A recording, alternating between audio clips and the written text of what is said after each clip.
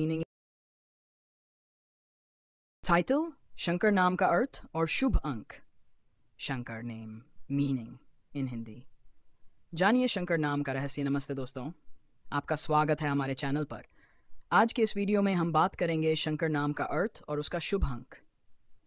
शंकर नाम का मतलब होता है शुभ या भगवान शिव। यह नाम हिंदू धर्म में बहुत महत्वपूर्ण है और बहुत सम्मानित होता है।